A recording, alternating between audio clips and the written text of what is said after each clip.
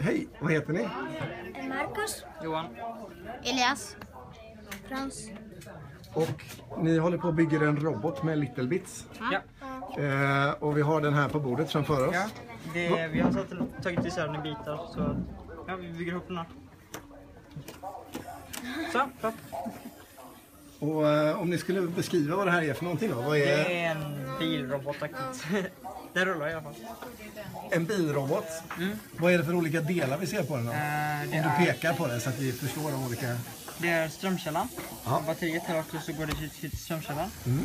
Som en liten knapp som man kan stänga på den. Sen har vi en förgrenare och fyra motorer och två LED-lampor. Ah, jag förstår. Och eh, den kör eh, åt ett håll. Ja, åt ett håll. Ja. Schysst, schysst. Om ni skulle bygga vidare på den och ha mer tid, vad skulle ni vilja bygga då? då? Vi skulle vilja bygga en kropp åt den så Ja. att den inte trillar isär hela tiden. och eh, försöka göra några bättre ljud. Lite bättre gyro. Ljud, ljud. Ljud.